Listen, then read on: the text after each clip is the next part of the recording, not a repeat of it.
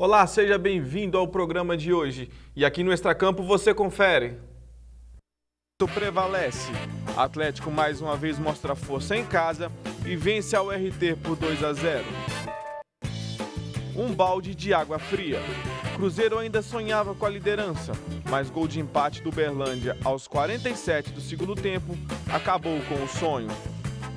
As polêmicas do apito, seleção brasileira, isso e muito mais você confere agora. Já estamos no ar.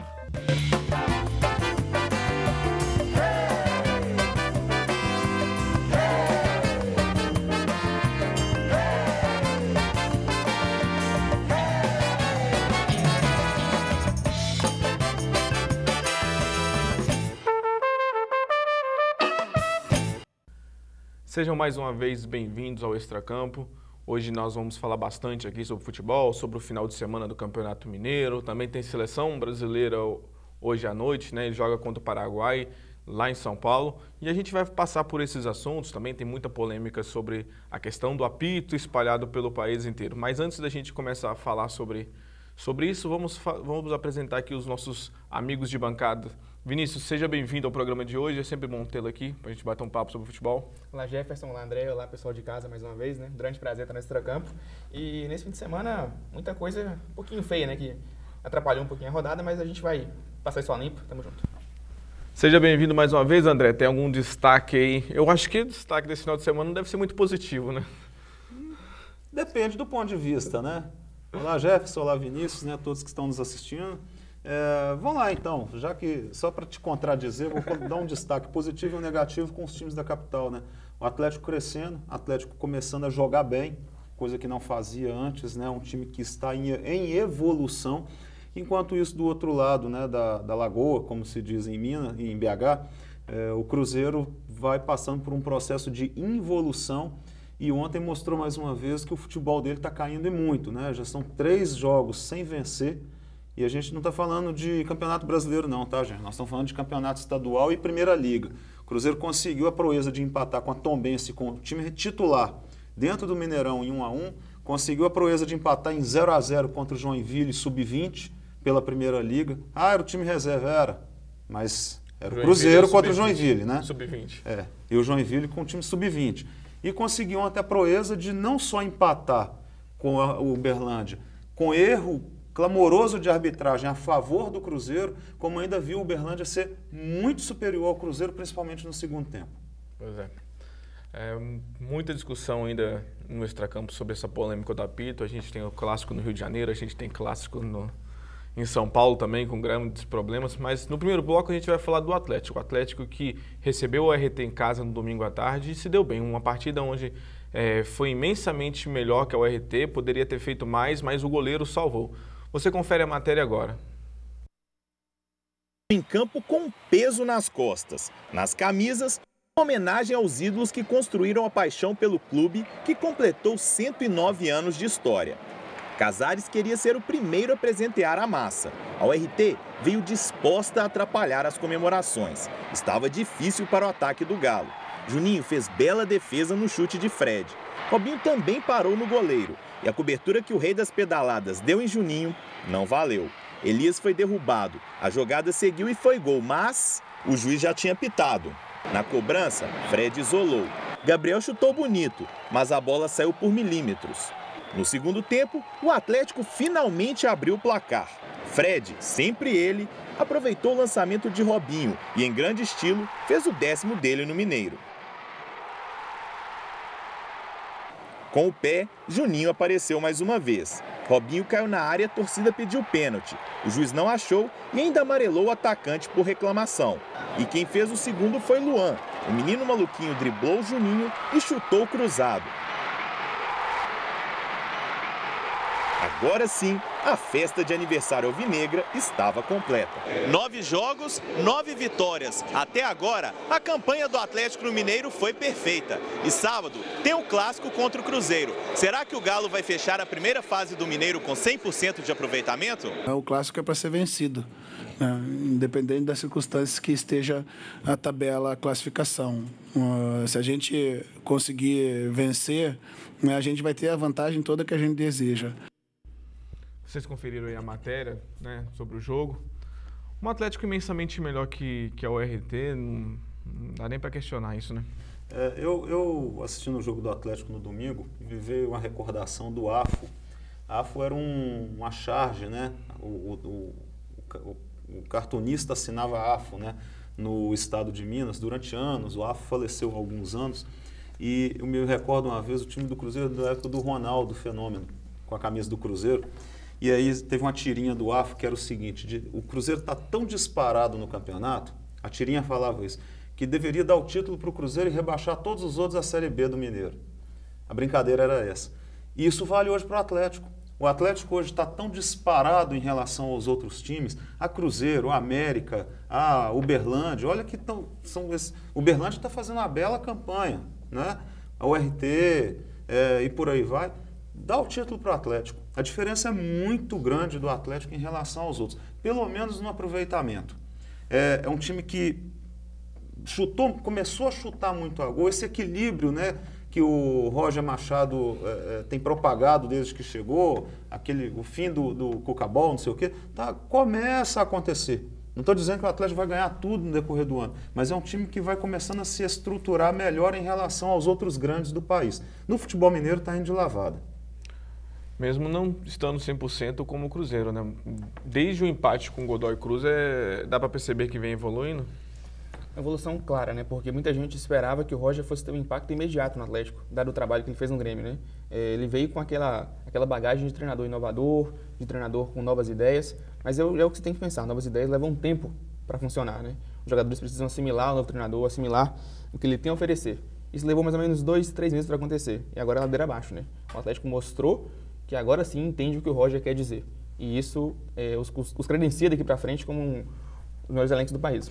Sim, mas é, semanas passadas a gente falava também da dificuldade defensiva, que não mostrou nessa partida. Não mostrou. Mas mesmo assim ainda é uma preocupação que o Roger não pode tirar o foco, né? Não, é, é, não estou dizendo que o Atlético está um primor de, de, de, de time. Eu não vou ficar aqui contradizendo. É muito fácil né, a gente chegar aqui hoje e falar que o Atlético está uma maravilha, aí vai lá, perde para o Cruzeiro no fim de semana, perde na Libertadores, fala que o time está uma porcaria. É muito fácil ser comentarista, né? Os jogadores e treinadores falam isso e é verdade. Né? Ficar mudando de opinião toda hora é muito fácil. Mas é, existe uma coerência. É, esse time do Atlético não é um primor. É um time que começou jogando muito mal. Muito mal não, mas tendo muitas dificuldades no estadual. Haja vista o jogo contra o América, que goleou sem né, placar foi meio farsa aquele, aquele resultado de 4 a 1 o, próprio Fred falou isso depois da partida. O jogo contra o próprio Berlândia, né, que deu dificuldade, deu trabalho ontem para o Cruzeiro, o Atlético goleou por 3 a 0 mas até os 30 do segundo tempo estava empatando. O jogo contra o Democrata aqui, que o Atlético foi beneficiado pela arbitragem, né, e foi um placar muito difícil, né, aquele 3 a 2 Quer dizer, é um processo. O Atlético está num processo de ascensão. Você, dá pra, você olha para o time do Atlético e dá para você imaginar que daqui a um mês ele vai estar tá melhor do que hoje. Você visualiza a equipe a médio e longo prazo. Né? Começou bem? Não começou bem de forma alguma. Com muitas dificuldades, um time que não se, não se encontrava, né? um meio de campo, um meio de campo que parecia paciente demais. Né? Ontem, anteontem eu já achei o Atlético um time um pouco mais agressivo em relação aos jogos anteriores. E o Roger deu uma entrevista depois do jogo que, que é para incendiar o clássico, para deixar o, esse time do Cruzeiro do Mano Menezes preocupado. preocupado, porque ele falou: olha, clássico é para se vencer. E nós vamos para cima do Cruzeiro. Até porque teve uma derrota, né? No início do ano. Que não se leva tão em conta, porque foi é, segundo jogo, terceiro jogo do ano, já pegou logo um clássico na primeira liga e e aí no time já não estava tão preparado quanto está hoje. A partida vai ser bem diferente no final de semana. Vai ser diferente, o Atlético passando por. tá, tá num bom momento. É, eu, sinceramente, o fato de ser, ter 100% de aproveitamento não me, não me ilude.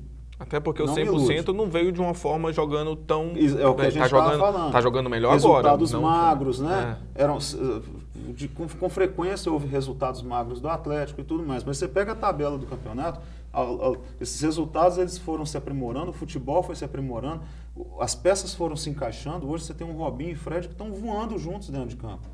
Né? O, o Casares, que estava meio encostado, começa a mostrar futebol. O Otero está para a seleção venezuelana, mas volta E é um cara que está encaixado nesse time. Fez gol pela seleção venezuelana. Pois é, já fez gol na semana passada. Né?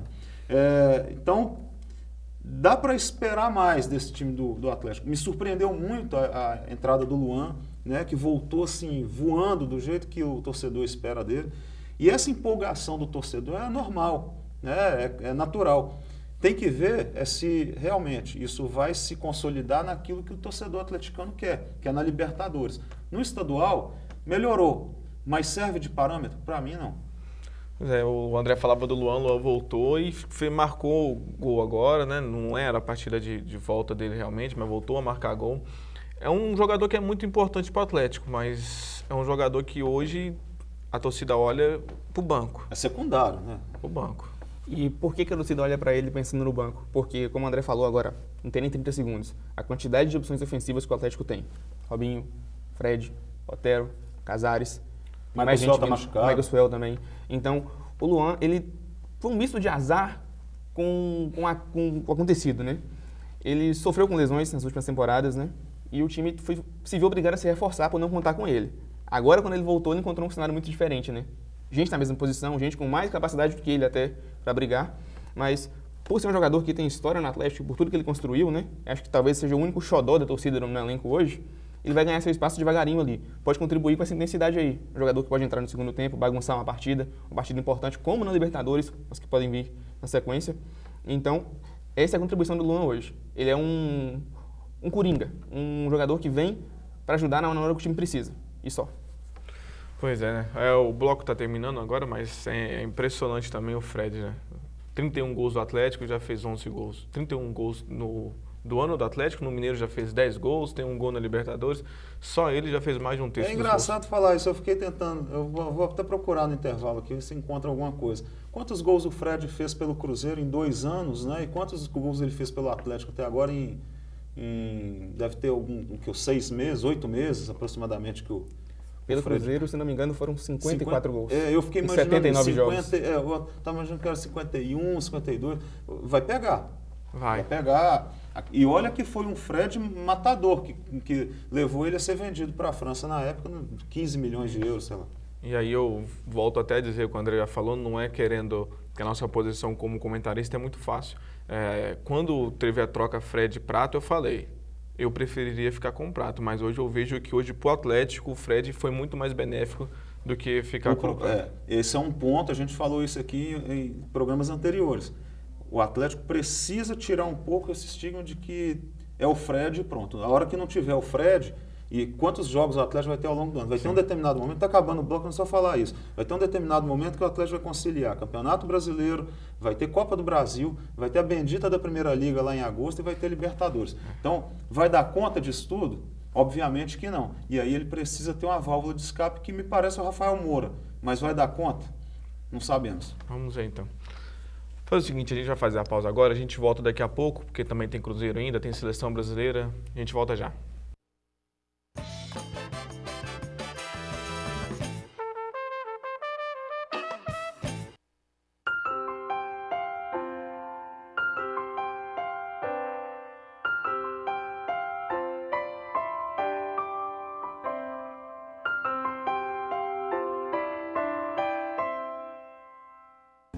Voltou. Alguém que peitasse.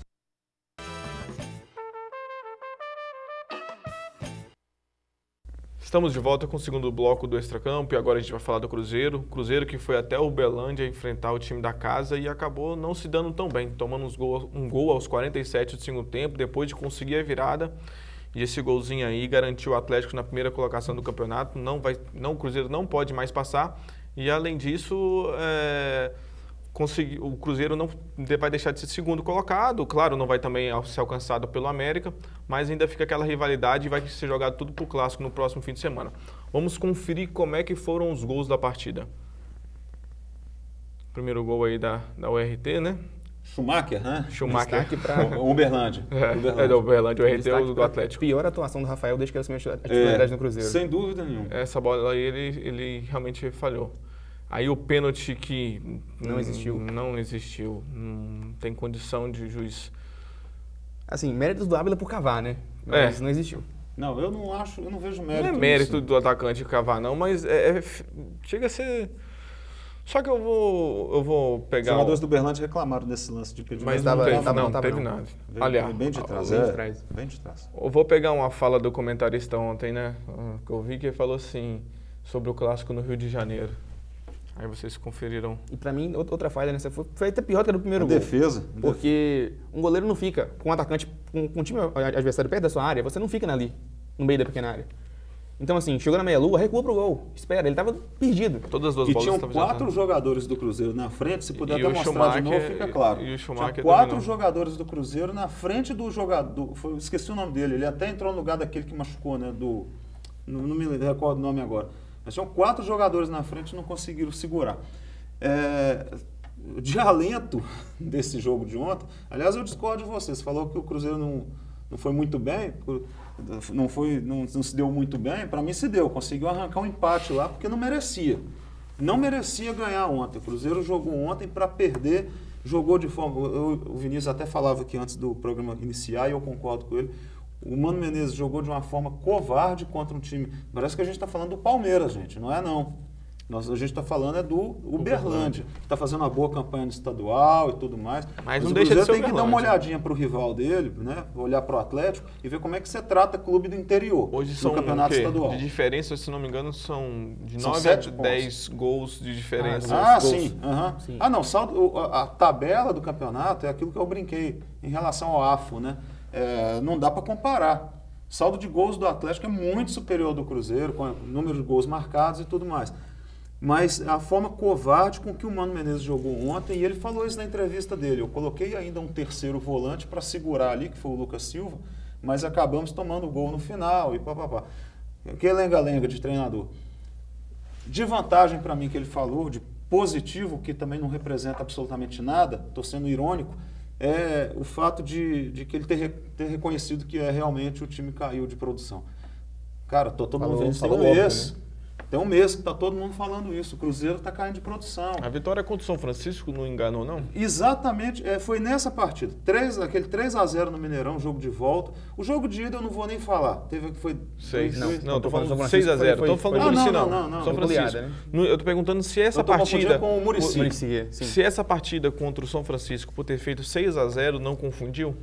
Ô Jefferson, o dia que uma goleada sonora for fizer confusão na cabeça de um time de futebol, de um time grande como o Cruzeiro, aí você tem que fechar, aí você tem que botar uma meia dúzia para ir embora. Uma goleada não pode iludir, uma goleada tem que indicar qual que é o caminho. Beleza, nós jogamos bem, temos de continuar assim. Não é sentar em cima daquela goleada e falar que está tudo bem. Tem coisa errada se for isso. Mas, de fato, pensando aqui rapidamente, me parece que foi a última grande atuação do Cruzeiro esse ano. Foi aquele jogo contra o São Francisco. O jogo de volta contra o Murici na, no 3 a 0 né? Lembrando que até o Democrata, a assessoria Democrata brincou nas redes sociais, né? É, pô, a gente precisava era de um rival assim, né? Porque foram dois gols contra e o gol do Cruzeiro foi de pênalti. E o Thiago Neves ainda perdeu um gol naquele jogo, de Um pênalti, pênalti. também. Então, assim, tem alguma coisa que tá errada, mas o Mano ficou um tempo, né? é, assentando sobre essa, essa tal invencibilidade. Que até hoje existe, querendo ou não, é o único que time uma da Série A que, não, né? nunca Perde logo, perde para o Atlético no Clássico, se for para melhorar. Perde para o Atlético no fim de semana, que eu acho que vai fazer bem, então. Pro, o clássico, já que o André tocou, é mais importante para quem? Pro Cruzeiro, que precisa voltar a jogar bem, ou pro Atlético, que tem aí uma certa dívida com o Cruzeiro porque perdeu o primeiro jogo do ano?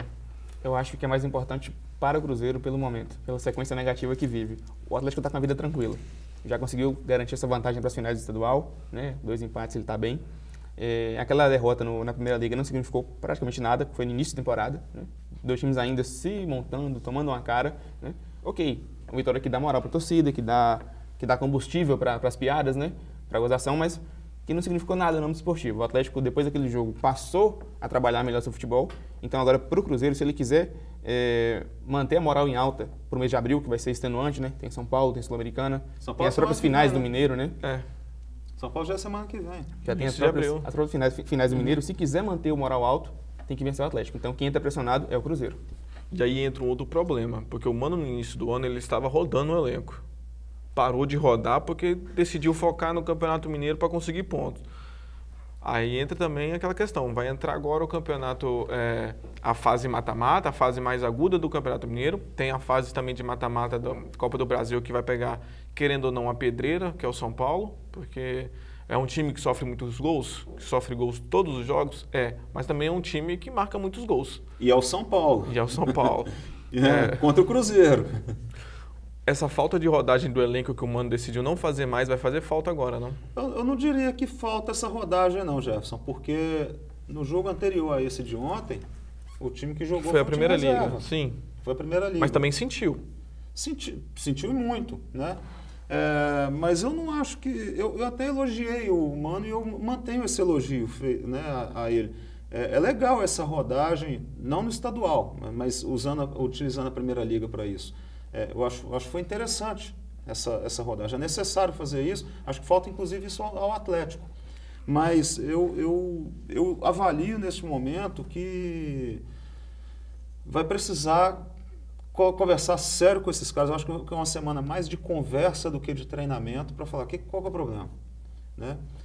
O Atlético é favoritíssimo ao clássico para mim, teoricamente. Mas se eu sou o Roger Machado, eu entro com o time reserva.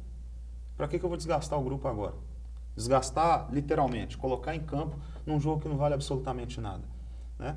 É, mas pelas as vale, pistas vale, que ele vale deram. clássico, né? É clássico. As pistas e... que ele deu. Vai ser um jogo vai... que ele vai jogar mais para a torcida do que para o time. Né? É, é um, é um jogo que tem mais apelo da televisão do que propriamente da importância. O Cruzeiro fez com que esse jogo mas não valesse para um nada. treinador, Mas para um treinador. Com esses dois empates seguidos Mas para um treinador que está em afirmação, como o Roger, dentro do, do time, a vitória no clássico para ele é... Não, mas veja bem, não estou falando que ele vai colocar, não.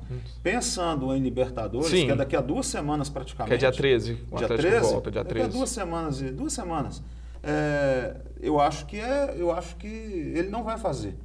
Entendeu? Eu, eu preservaria esse grupo principal, entraria com um time misto. Você pode colocar ali o Marlone, que já pode estrear no sábado contra o Cruzeiro, colocaria o Luan de novo para dar uma incendiada nesse ataque, colocaria essas peças que não vão comprometer num clássico, né? ainda mais pela situação do Cruzeiro. Eu sei que o Roger não vai fazer isso, vai entrar com os 11 ali, os 11 titulares dele. É, e vai ser um clássico que vai ser muito mais para o torcedor. Se, concordo com o Vinícius. Se o Cruzeiro vencer, pode ser o início de um alento mas contra um adversário que já não está mais muito preocupado. Se for o Atlético, acaba essa invencibilidade do Cruzeiro. Ótimo. E se for o Cruzeiro, vai acabar com e o ser do Atlético. E, e, e se for o Atlético, realmente se o Cruzeiro sentir muito o baque dessa derrota, eu acho que coloca em risco toda a temporada. Porque pode ocasionar duas eliminações em um mês. No é, mesmo mês, né? No mesmo, no mesmo mês, né? Sul-Americano para o Brasil. Que são os dois títulos que estão mais ao alcance do Cruzeiro nesse ano, né? perdendo esses dois, acaba que o objetivo se perde, né? O time fica meio sem rumo para a temporada. E é uma situação complicada porque você tem um, um, confronto de Copa do Brasil de dois grandes que não estão disputando nenhuma outra coisa tão grande quanto a Copa do Brasil nesse primeiro semestre. Por exemplo, os outros tem outros grandes disputando Libertadores, mas Cruzeiro e São Paulo não têm Libertadores. A Copa do Brasil é foco total. Se sair agora, é um ano que pode ser comprometido. Não é um ano do Cruzeiro que está destruído. Torcedor, nós não estamos falando não, isso aqui. Pode ficar que a gente. É, eu... Aliás, eu vou, eu vou adiante. Eu cobro desse time porque, para mim, o Cruzeiro está na Libertadores de 2018. Tem obrigação pelo elenco que tem. E é um Você elenco melhor que o do São Paulo. o Cruzeiro seja muito mais profundo. Muito, muito melhor muito do que o São Paulo. São Paulo. É, do que o do Corinthians também. Nossa, sem comparação. Sem comparação. Você cogita que o Cruzeiro no Campeonato Brasileiro fique, você vá pior do que o Vasco, não, não do que o Bahia, do que o, Atlético Goianiense, do que o Vitória, do que. Nem lembro quem mais subiu nessa leva aí, mas tem muito Havaí. time aí. Havaí. É, é, ano passado a gente tinha o mesmo discurso, quase que a, a vaca foi pro brejo. Mas a gente cobra desse elenco porque é um grupo forte e que fez para a temporada com o Mano Menezes. Não, Os caras todos estavam na pré-temporada. O resultado está nos números, né? O Sobis com a temporada fez 12 gols no ano até agora. Exatamente. Não tem, nem como, não tem nem como imaginar que o Cruzeiro vai, vai brigar para cair esse ano no Campeonato Brasileiro. Não. A questão mesmo, essa questão de alerta, ligar a alerta, questão mesmo é, valer, é ligar esse alerta para essas competições que são mata-mata e que são um caminho assim é, mais curto para chegar a uma um, uma Libertadores, porque quando você pega o Campeonato Brasileiro, você tem o Flamengo, que está com um time muito bem montado, você tem o Palmeiras, que está com um time muito bem montado, o Atlético, que tem um time bom, você tem. É... Para mim, a quarta vaga fica aberta. A quarta vaga É, tem Santos, aberto. Grêmio, O Grêmio nem tanto. Cruze- na, na, na liber- no, Ah, no. Campeonato Brasileiro, né? É. No Campeonato Brasileiro. É, um- o, o próprio Cruzeiro. Cruzeiro. Então, seja, essa quarta vaga, se bem que agora no Brasil consegue até com oito vagas, né? Dependendo do, do campeão Mas da... assim, eu, eu ainda prefiro, prefiro trabalhar com quatro, porque quatro é aquele. Você entra onde interessa na Libertadores, né? Que é a fase de grupos. Assim, o Botafogo ficou em sexto no ano passado, né? Conseguiu chegar eh, até a fase, de, a fase de grupos, mas mais penou, né? Passou por adversários pesados, né? Começou a jogar em janeiro. Então, assim, o G4 ainda é o mais importante, né? É onde você ganha um passaporte para É. é. pra, E, pra e além disso, né? Aí você pode dizer que categoricamente que esse time foi bem a ponto de ir para Libertadores. Agora, o oitavo colocado de 20 clubes, é, aí é brincadeira, né? Difícil. Vamos fazer o seguinte, antes de encerrar o bloco, vamos conferir a tabela do Campeonato Mineiro, pra gente já encerrar esse bloco e no próximo a gente voltar com seleção. Tá, é, tabela do Campeonato Mineiro, o Atlético, que tem pro Cruzeiro 8 gols de diferença, né? No saldo de gols são 10. O Atlético 27, o Cruzeiro com 21. Aí vem o América com 17, a Tombense com 14, a Uberlândia, Uberlândia com 13, o RT, Caldense, Tupi e o Democrata ali fechando esse lado com 7 pontos, que venceu, né? Incrivelmente a Caldense fora de casa. Depois vem Tricordiano, que não ganhou de ninguém, tá com 5 pontos porque tem 5 empates. Nenhum América E, e E escapar só pro o empate, América né? Toflotone. É, pode escapar só para empate e o América Toflotone que encara o Democrata aqui numa mudão no final de semana. Seria irônico, né? O Democrata cair tendo com Duas vitórias. dois- é, com duas vitórias, E o Tricordiano se subir, salvar. fi- permanecer com uma vitória, por exemplo. só. É. Vamos fazer o seguinte, a gente vai dar uma pausa agora, a gente volta daqui a pouco. Tem seleção brasileira ainda, porque hoje à noite tem Brasil e Paraguai lá na Arena Corinthians. A gente volta já.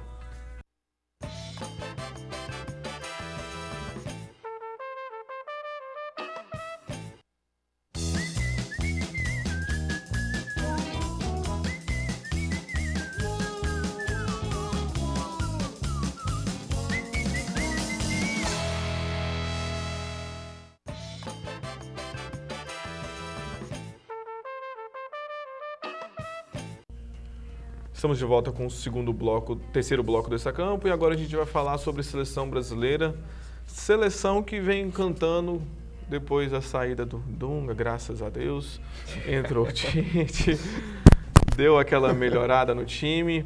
Sete jogos, sete vitórias, é, classificação quase que assegurada Não, tá hoje. consolidada, né? É, só, só precisa do- da matemática, tem, né? Pra, Tem nove pontos né, de diferença em relação Do ao Uruguai. né? Eu então, é... encomendei a vodka já. Oi? Já encomendei a vodka. Hoje bastante comprada. Não, ga- não gasta pa- não gasta com a vodka, não. Gasta com a passagem. E, É. e diferente do que vinha sendo desde da seleção de 2006, né, que eu acho que a última grande seleção que encantou o Brasil foi em 2006. Aquela seleção de 2006, mas não deu nada. Não da Copa. Não da Copa, antes da Copa. Depois veio a seleção com Dunga, que já cansou todo mundo. Aí depois veio a seleção. O Filipão começou a encantar o povo lá com a Copa das Confederações e agora. Mas A Copa mais- das Confederações Foi é uma uma mentira, enganação, né? né? Sempre- Mas assim, foi um negócio, foi um encanto mais de, de, de embalo pra jogar em casa do que É, é, não, sim. propriamente pra jogar bonito, né? Mas hoje a seleção tá jogando bem. Hoje você sente o dedo do treinador no, no- esquema o tático, Brasil no fez jeito de jogar. sete gols nos dois principais clássicos na América do Sul. Sim. Fez três contra a Argentina, E 3 a quatro- 0 e e quatro em 4 no Uruguai Montevidéu. em Montevidéu. Isso é que eu acho que é o cartão de visitas do Tite ao longo desse tempo. O Eu- Brasil eu- só tomou dois gols na, achei, na era né? Tite. Eu acho que eu nunca tinha visto o Brasil jogar tão bem no centenário. Eu Não. nunca tinha visto jogar Tomou daquele jeito. Eu, não- eu fiquei tentando me Uma- lembrar do Brasil batendo no Uruguai igual ele fez esse- nesse- nesse- na Então, semana Ó, passada. tomou um gol com a falha do Marcelo, que foi o pior, Pior jogador, jogador em campo. em campo. E mesmo assim manteve a postura, não apelou, jogou futebol. Inclusive Empatou também. é, a bola no é, né? e inclusive também é, é, tem que parabenizar o Uruguai também, porque parou com essa palhaçada de dar chute para tudo quanto é lado, de jogar como, como se deve. né? Não é mais aquele time que começou a tomar dois, já começa a bater porque a gente não quer tomar mais. Tomou 4x1 dentro de casa e terminou o jogo de uma forma assim. E não jogou tão mal. Não jogou. É isso que eu ia falar. Realmente. É o Uruguai mais- foi pra cima do Brasil. Tentou, o, Bra- eu- a- o Brasil achou o terceiro gol com o Paulinho. Sim, Né? que fez três, né? Fez tre- hat-trick, foi o Outra primeiro coisa- outra hat-trick. coisa né? rara, né? É. Lá em Montevidéu ainda, o Brasil nunca tinha feito, né? Três gols. Aquele dia pra chover, né? Agora, gols, é, Brasil eu, eu acho que falta essa seleção para mostrar o, o verdadeiro nível dela é pegar realmente uma seleção europeia de Sim. ponta. É, isso não vai acontecer agora enquanto tiver. É, mas parece que o ano que vem já tem, por exemplo, o clássico contra a, a Alemanha já marcado. Quando? O ano que vem. Ah, no ano que vem Prepara- tem Copa Não, do então, Mundo. Sim, é a preparação para a Copa. Porque é quando vai poder fazer? Porque agora com o eliminatório, Pois a é, data mas- FIFA é mas utilizada é- na é- eliminatória. eliminatórias e no meio do ano tem Copa das Confederações, né? É, mas o As Brasil não participa. de- Não, o Brasil não vai participar. Não, sim. Mas é quero- oportunidade de fazer uns amistosos. Não sei Sim. se é data FIFA, quem está fora da Copa. Não sei como. Eu Mas imagino Eu que acho que possa. em período de competição a FIFA para, né? Então as seleções grandes que vão jogar a Copa das Confederações não vão estar disponíveis, né? Por exemplo, a Alemanha não vai dar, É. é. para vencer a Copa do Mundo. Eu acho que o Chile não vai estar disponível também, Sim, porque que é um, é um- é um bom teste para fazer no Vai, continente, vai estar né? na, na Copa das Vai estar também. Confederações. Então as, opções ficam mais restritas. Eu Mas os dois um amistoso- principais testes que o Brasil poderia ter na América do Sul, ele teve. Teve e foi bem sucedido, mas é por isso que eu estou falando. Aqui, maravilha, goleou dentro de casa. Fazendo analogia com o campeonato estadual, é isso. Você goleia todos aqui, mas peraí, vamos ver como é que está o nível? Vamos pegar um time de Rio e São Paulo, Rio Grande do Sul, para ver, ver se está voando mesmo. É, e é isso. Acho que, o- né, embora sejam duas das maiores seleções do mundo, né, tanto o Uruguai quanto a Argentina, a Argentina é a atual vice-campeã do mundo. É a Aplicou número um três. do, do ranking É. da FIFA, né? O ranking. Aqui na FIFA é um negócio O ranking da FIFA é igual a invencibilidade do Cruzeiro, né? É a mesma coisa. É, pra acabar é fácil. Mas está faltando pegar justamente um, um- uma equipe de grande porte. Faltando aí. testes. O que, porque Uma Alemanha, É. um. vem jogando sobre, isso- bem. sobre isso de testes, é, dá até pra fazer um para- outro paralelo com 2006, né? Você falou no começo do bloco que 2006 foi a última seleção do Brasil que encantou de verdade. Mas a diferença de, de, de, de encanto, sei que, sei que existe uma diferença de encanto, né? É algo que pode ser quantificado, mas 2006 foi um negócio mais circense. Foi Sim, meio não, Ah, mas sim. é óbvio. artístico, né? Era o Essa quadrado seleção mágico. de hoje joga um futebol que encanta, mas um futebol que coletivo. entrega. É mais resultado. sóbrio, né? É uma equipe Aham. mais É sóbria. um né? coletivo. Mais- Tanto mais que o- a equipe hoje não é como a equipe do Dunga. A equipe do Dunga é pega a bola, joga em quem? Joga no 10. Pega a bola, joga no Neymar. Pega a bola, joga no Neymar. A equipe de hoje, no jogo contra o Uruguai, o Neymar apareceu pouquíssimo. Ele apareceu, fez dois lances e fez o gol. Agora, dá tempo de a gente fazer uma catarse aqui rapidinho? É, o que, que fez essa seleção melhorar? O que, que o Tite fez nessa seleção? É, Era esquema tático, cara. Não. Você olha pra trás e você fala assim, nossa, nós tomamos 7x1 foi por causa do esquema tático. Não é, e mas aí é divagou, teve- eh, divagou-se sobre é, essa safra de jogadores no Brasil que não rendem, é, que o futebol brasileiro está definhando. Quantas vezes nós não falamos isso? Né? O futebol brasileiro já não é mais o mesmo de, de 20, 30 anos atrás. Vai, tem que esperar uma outra safra. O Neymar é uma Quantas enganação. vezes nós deixamos de falar sobre a seleção aqui no Extracampo porque estava chato. Quantas e quantas complicado, Então, assim, é, será que o Tite chegou e falou assim, não, peraí, vamos trocar o esquema tático aqui, colocar questão- esse jogador aqui? O meu modo de ver.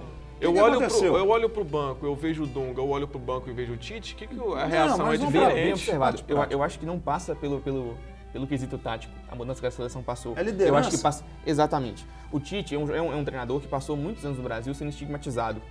Por ser aquele cara que fazia algo diferente, mas que nunca conquistava nada. Ele tinha uma Copa do Brasil pelo Grêmio em 2001, Só. mas desde então ele acumulou trabalhos ruins. Ele, rebaixou, ele ajudou a rebaixar o Atlético Mineiro em 2005, Sim. né? Foi um dos que passaram por aqui. Teve umas passagens boas pelo Inter, mas o Tite se descobriu, se transformou numa espécie de Midas do futebol, né? Que ele toca vira ouro, no Corinthians.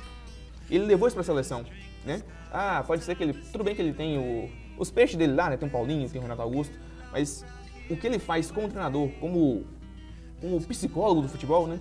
Mas o Filipão não tinha essa diferente- liderança? Diferentemente do Filipão. O Filipão era uma espécie de. de Mas o de- Filipão tem só pai, liderança. né? Ele tinha aquele jeitão rabugento. O Tite é diferente. Ele faz com que os jogadores se sintam um conjunto. A Eu diferença do isso. Tite, no meu ver pro Filipão, que o Filipão tem só liderança.